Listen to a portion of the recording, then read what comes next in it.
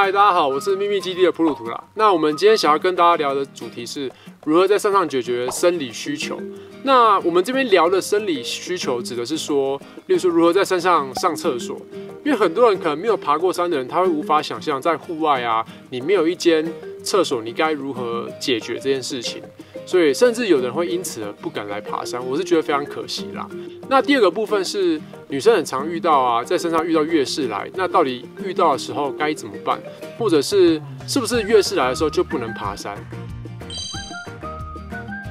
那主要我们会分三点跟大家做讨论。第一点是在上厕所的时候地点的选择。那第二件事情会是拍衣我们要如何处理？第三件事情是垃圾我们要怎样处理？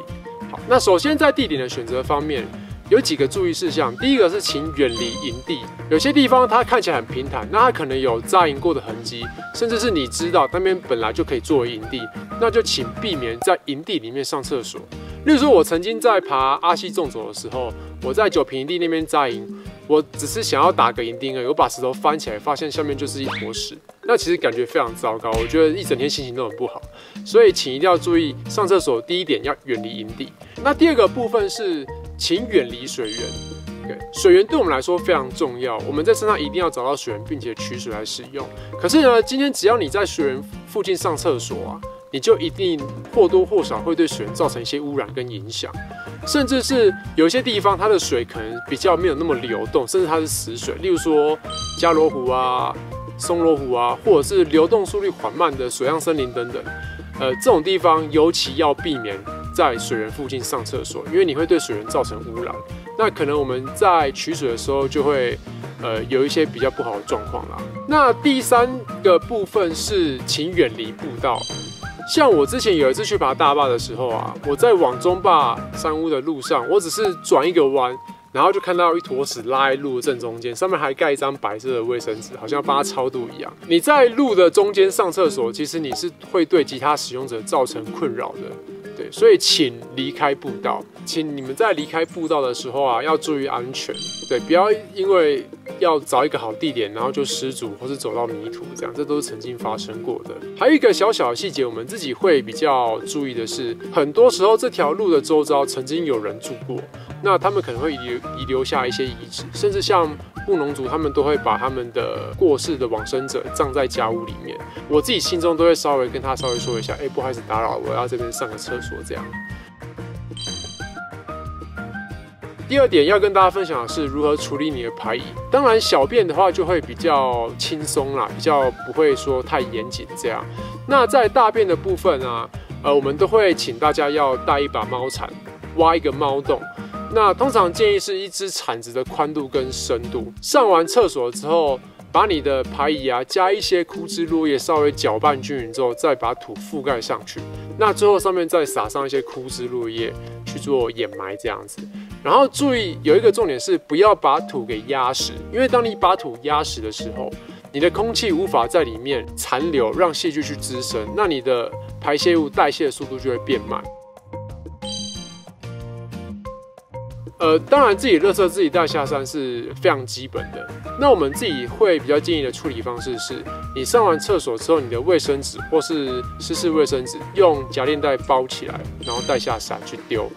然后用夹链袋有有一个很大的好处是，它的味道比较不会外泄，你比较不会觉得那么奇怪、那么不舒服这样子。甚至是你可以再想的更环保一点，例如说你在呃买你的行进粮的时候，你可以挑一些果干啊，或者是。挑一些坚果类的食物，它的呃包装袋本身就是假链袋，那其实也是一个很好的垃圾袋。那接下来我们邀请我们两位伙伴来跟大家分享，呃，如果你是女生，你有没有一些上厕所配博啊，或者是你要怎么样处理你月事的问题？嗨，大家好，我是吴七。然后我的第一个方法是带雨伞。雨伞这个东西，就是如果你下大雨的时候也可以用，前提就是要比较轻量化的雨伞。那再来是上厕所的时候，因为有时候你的路就是没有办法找到转角，或是没有遮蔽物的时候，其实你带着一只雨伞，然后去上厕所。大家也会知道，就是你要去上厕所，大家会尽量会避免去往那边看。那你也可以在不用走到那么远的情况之下，很方便的就可以开始上厕所。第二个是，如果你对就是上厕所这部分很介意的话，在穿着上你可以选择就是一片裙，就是它会这边会有一个裙子。那跟裤子不一样的地方，就是因为裤子你就是要整个脱下来嘛，那一片裙就跟我们平常穿裙子一样，就算蹲下来，它还是会遮住你的重要部位，所以你在心理上面就会更舒服一些。那女生上厕所的确就是还是有一定的麻烦度，那上面两个也只是一些小小的方法。通常你只要走到你看不到别人的地方，那别人也看不到你，就不要给自己在上厕所上面有太大的心理压力，适时的再用上面讲的两个小撇步，就是会让自己在上厕所这方面心里更好过一点。Hello，大家好，我是志杰。那我今天要来和大家分享，在山上的时候，如果遇到月经的话，该如何准备。那因为我自己是有很多次爬山的时候都刚好遇到月经来，一开始其实都很惊慌，就觉得啊怎么那么倒霉这样。但其实我觉得，呃，在山上有月经来并不会呃有太大的麻烦，其实就只要做好一些准备是没有什么问题的。那第一点就想跟大家分享，就是我主要是会用棉条。那我通常可能就是如果月经快要来，呃，就算周期没有非常的刚好，我就可能会先带着，就可能会预期呃四天的量，然后一天大概是抓四到五个棉条。那我棉条我会选择就是没有导管的那种，因为在山上其实垃圾的体积是很重要的要考量的一个要点。所以如果它还会有导管，垃圾的量太多了。第二点，我想要跟大家分享的是关于清洁的部分。那因为大家在月经来，然后如果没有水，在擦拭上会觉得需要用到很多的湿纸巾。那我在此想要特别跟大家讲说，我自己在挑选湿纸巾的时候，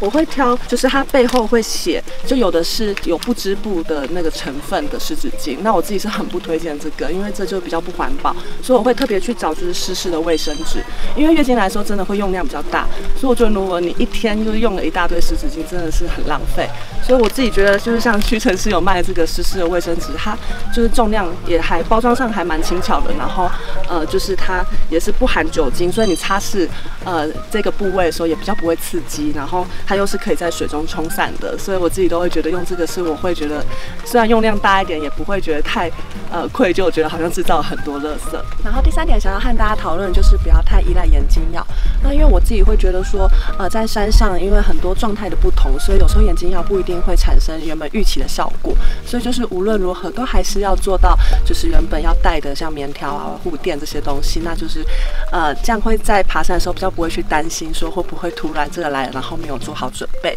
很难。